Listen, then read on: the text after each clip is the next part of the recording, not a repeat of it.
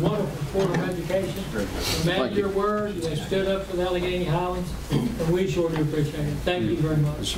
That's my responsibility and my Yes. job, and I, you know, I'm glad to do whatever I can to assist and help in any way.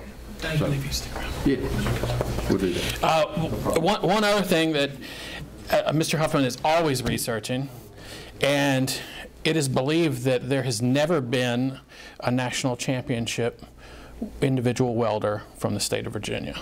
So that is quite the accomplishment for Ryan. Also, while we were there, there was a uh, a robotic welding competition that was going on while we were there. And Mr. Huffman, in his competitive nature, was the top robotic welding uh, participant out of all of the instructors at Skills USA 2019. So he might not like to brag about it, but he uh, doesn't like to. He doesn't like for us to know he's really good at video games, but he is really good at video games. But thank you all very much, and congratulations to Ryan, Hannah, and Mr. Huffman.